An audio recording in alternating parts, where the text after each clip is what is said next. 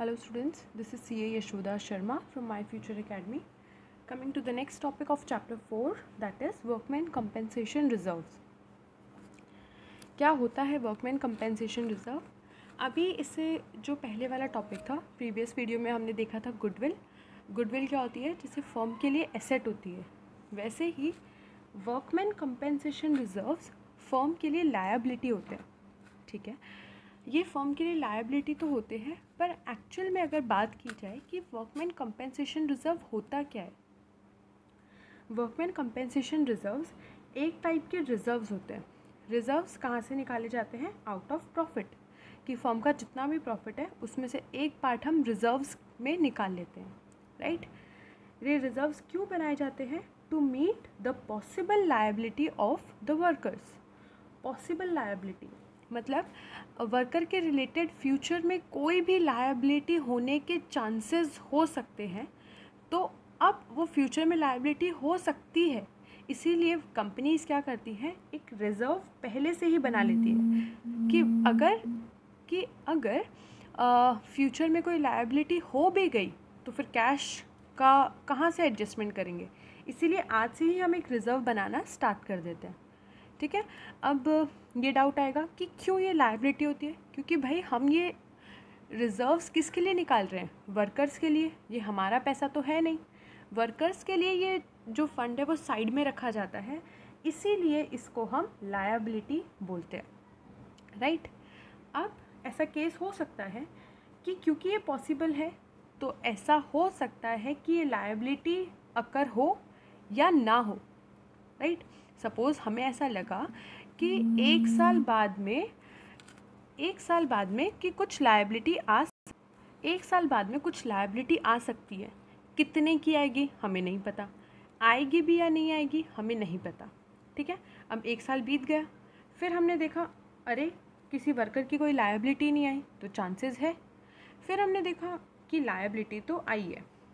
पर क्या ऐसा ज़रूरी है कि जितना हम रिज़र्व्स बनाएँगे उतनी ही लायबिलिटी हो, ऐसा ज़रूरी नहीं है। जो लायबिलिटी होगी, वो हमारी लोअर भी हो सकती है हाइयर भी हो सकती है या इक्वल भी हो सकती है। लायबिलिटी का मतलब क्लेम कि हमने जो रिज़र्व बनाया है तो उसके अगेंस्ट में कितने वर्कर ने क्लेम किया है कि भाई हमें पैसा दो राइट तो इसको बोलेंगे लायबिलिटी इसको बोलेंगे क्लेम अकाउंट्स में इसको बोला जाएगा भी क्लेम ठीक है? तो ऐसा हो सकता है कि वर्कर ने कम क्लेम किया हो राइट ऐसा हो सकता है कि वर्कर ने ज़्यादा क्लेम किया कि हमने एक हज़ार का ही रिज़र्व बनाया, लेकिन वर्कर ने क्लेम कर लिया पंद्रह सौ। हो सकता है। या फिर ऐसा भी हो सकता है कि हमने एक हज़ार का रिज़र्व बनाया और वर्कर ने एक ही हज़ार क्लेम किया। Possible right right? तो ये सारे केसेस हैं वर्कमैन कंपेंसेशन रिज़र्व के रिलेटेड एक बार आगे बढ़ने से पहले वापस से देख लेते हैं। वर्कमैन कंपेंसेशन रिज़र्व एक तरीके का रिज़र्व है। जो कि वर्कर्स के लिए बनाया जाता है, कि इन केस फ्यूचर में कोई भी पॉसिबल लायबिलिटी हो तो हम उसको मीट कर सकें राइट अब कोई ज़रूरी नहीं है कि लायबिलिटी हो, और हो भी सकता है कि लायबिलिटी हो। तो अगर लायबिलिटी होगी तो वो लायबिलिटी जो क्लेम आएगा, वो लोअर भी हो सकता है हाइयर भी हो सकता है, या इक्वल भी हो सकता है। या फिर ऐसा भी हो सकता है कि लायबिलिटी कोई वर्कर क्लेम ही ना करे राइट तो इन सब सिचुएशन में वर्कर कंपेंसेशन रिज़र्व की हम जनरल एंट्रीज किस तरीके से करेंगे? इसका जो पूरा वर्किंग है वो किस तरीके से करेंगे? यहाँ पे वो इंपॉर्टेंट है। ओके okay, तो सबसे पहले हम देखते हैं कि अगर क्लेम लोअर है चलो ये देखने से पहले जो इजी वाला पार्ट है वो देख लेते हैं। वॉट इफ़ कि कोई लायबिलिटी नहीं हो? वर्कर्स हमने एक हज़ार का रिज़र्व बनाया पर कोई वर्कर ही नहीं आया कोई पैसे लेने के लिए। ठीक है? तो हमने रिज़र्व बनाया था, यानी हमने इसको एज ए लाइबिलिटी दिखाया था। लेकिन अब वो रिज़र्व कुछ काम का नहीं है तो हम क्या करेंगे? उस रिज़र्व्स को पार्टनर में डिस्ट्रीब्यूट कर देंगे। तो देखो हमने क्या किया? पार्टनर का कैपिटल अकाउंट बढ़ा दिया। वर्कमैन कंपेंसेशन रिज़र्व पहले लाइबिलिटी थी, इसीलिए हमने उसको क्रेडिट कर रखा था, कर रखा था। लेकिन अब हम उसको रिवर्स एंट्री कर देंगे, क्योंकि अब हमारे वो काम का नहीं है। इसीलिए workman compensation reserve debit partners capital account हम पार्टनर के कैपिटल अकाउंट को बढ़ा देंगे। किस रेशियो में? ओल्ड रेशियो में। वर्कर कंपेंसेशन रिज़र्व को टेंशन ही नहीं लेना है, सारी चीज़ें ओल्ड रेशियो में ही जानी है, ठीक है? अब हम आते हैं नेक्स्ट पे। अगर हमारा जो क्लेम है, यहाँ पे हम किसकी बात कर रहे हैं? क्लेम अगर हमारा क्लेम लोअर है सपोज़ कि हमने एक हज़ार का रिज़र्व बनाया, लेकिन क्लेम तो आठ सौ का ही आया राइट तो हम क्या करेंगे? Worker worker compensation reserve debit हमेशा डेबिट होना है। जो 800 है, वो हम provision for workman compensation claim में डाल देंगे। कहाँ पे डाल देंगे हम? क्लेम में। राइट सपोज़ हमने ये बनाया था हज़ार का। 800 ही क्लेम आया तो हम क्या करेंगे? 800 वर्कर कंपेंसेशन क्लेम में डाल देंगे। बाकी का क्या करेंगे? वेरी गुड बाकी का पार्टनर्स कैपिटल अकाउंट में चला जाएगा in the old ratio simple हर बार क्या हो रहा है? वर्कमैन कंपेंसेशन रिज़र्व डेबिट हो रहा है। नेक्स्ट केस अगर लायबिलिटी हाइयर है, मैंने इस बार हाइयर लिया है कि अगर मेरी लायबिलिटी हाइयर है कि हमने रिज़र्व तो हंड्रेड का बनाया है, लेकिन पंद्रह सौ की लायबिलिटी आ गई राइट तो वर्कमैन कंपेंसेशन रिज़र्व तो कितने का है? हज़ार का ही है। तो इसको तो हम डेबिट कितने से करेंगे? हज़ार। जितना भाई हमने रिज़र्व बना के रखा है सिंपल सी बात है, उतना ही यहाँ पर डेबिट होगा। Provision for workman compensation claim claim कितने का आया? फिफ्टीन हंड्रेड वेरी गुड यहाँ पे हमने क्लेम डाल दिया। बचा क्या? रिवैल्यूएशन पाँच सौ कहाँ से आएगा? पाँच सौ हम एक रिवैल्यूएशन अकाउंट बनाएँगे। उसके अंदर से हम फाइव हंड्रेड लेकर आएँगे। जो भी डिफरेंस है, यहाँ पे हमने फाइव हंड्रेड इसमें डाल दिया। रिवैल्यूएशन अकाउंट क्या होता है? उसमें क्या किया जाता है? वो सब हम आगे की वीडियोस में डिस्कस करेंगे। बड़ा ही इंपॉर्टेंट है, बड़ा ही इंटरेस्टिंग है। लेकिन अभी के लिए इतना याद रखो कि अगर हमारे पास वर्कमैन कंपेंसेशन रिज़र्व बच जाता है तो हम उसको पार्टनर्स कैपिटल अकाउंट में ओल्ड रेशियो में डिस्ट्रीब्यूट कर देंगे। अगर हमारे, हमें वर्कमैन कंपेंसेशन क्लेम हमारा ज़्यादा है तो हम रिवैल्यूएशन अकाउंट में डेबिट कर देंगे राइट बहुत ही सिंपल सी चीज़ है। और नेक्स्ट हम देखते हैं कि अगर हमारा जो क्लेम है वो इक्वल है तो हम क्या करेंगे? When claim is equal to workman compensation account to provision for claim account ना रिवैल्यूएशन पिक्चर में आएगा, ना ही हमारा पार्टनर्स कैपिटल अकाउंट पिक्चर में आएगा.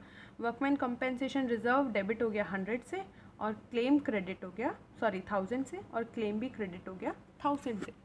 बड़ा ही सिंपल सा सिंपल सी चीज़ है. बहुत सिंपल है. ये चीज़ तुम्हारे एडमिशन में भी काम आनी है रिटायरमेंट में भी काम आनी है डिसोल्यूशन एंड डेथ में. तो ये चीज़ को चैप्टर नंबर फोर को जितना अच्छे से समझ सको, उसके कॉन्सेप्ट्स को जितना अच्छे से समझ सको, बहुत अच्छा है। आगे के चैप्टर्स बहुत इजी हो जाएँगे। ठीक है? तो यहाँ पे हमारा हो गया कॉन्सेप्ट की बात।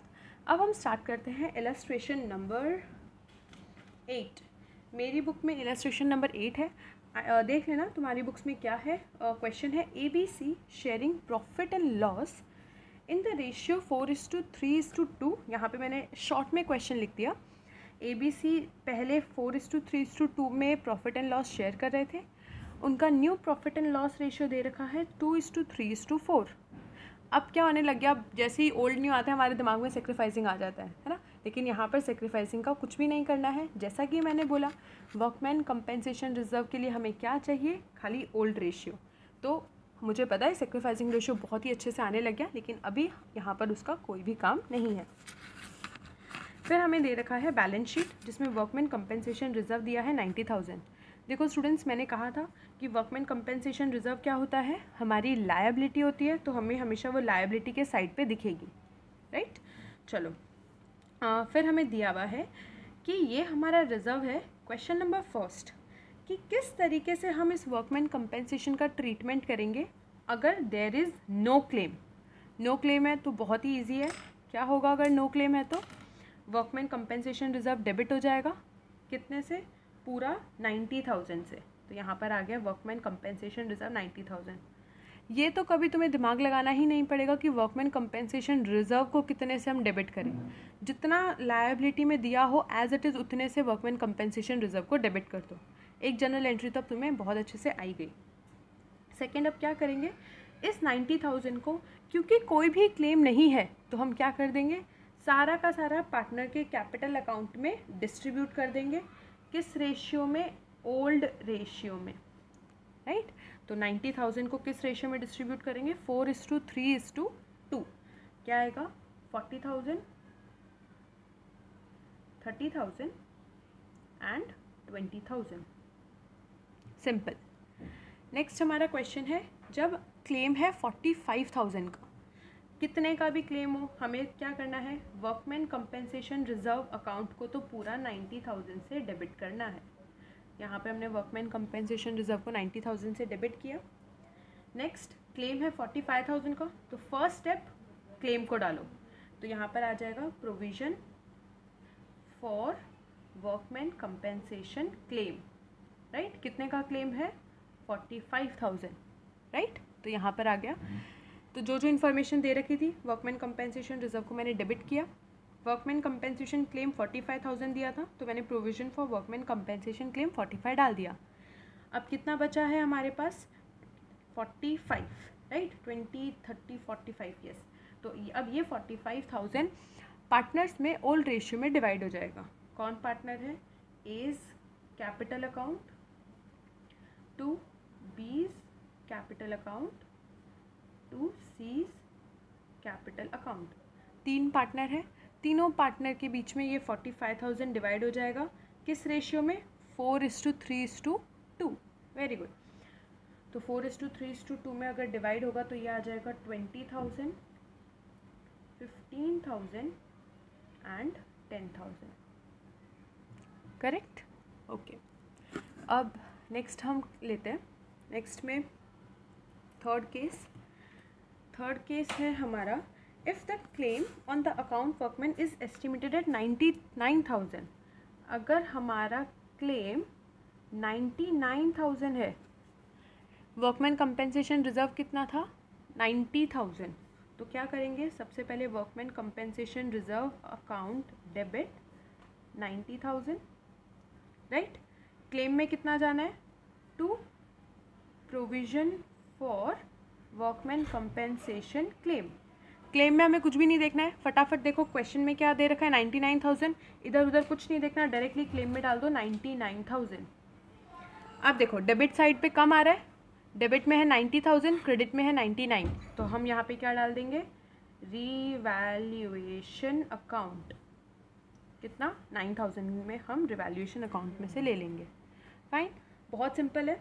नेक्स्ट है हमारा, अगर claim is estimated at ninety thousand claim ninety thousand का है।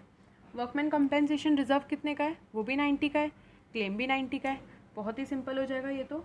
Workman compensation reserve account debit कितना हम डेबिट करेंगे? Ninety thousand to provision for workman compensation claim कितना है? नाइन्टी थाउज़ेंड तो ना ही तो हमें इसको पार्टनर कैपिटल अकाउंट में क्रेडिट करने की ज़रूरत है, ना ही हमें रिवैल्यूएशन अकाउंट को डेबिट करने की ज़रूरत है। लास्ट है हमारा, अगर क्लेम है थर्टी सिक्स थाउज़ेंड तो वर्कमैन कंपेंसेशन क्लेम अब ये वाला सेम है हमारा सेकेंड केस जैसा, जो क्लेम फोर्टी फाइव थाउज़ेंड था, ये मैं चाहूँगी स्टूडेंट्स तुम ट्राई करो। उसके बाद में जो हमारे टॉपिक आएँगे that is investment fluctuation reserves ये सारे टॉपिक इसी से रिलेटेड है।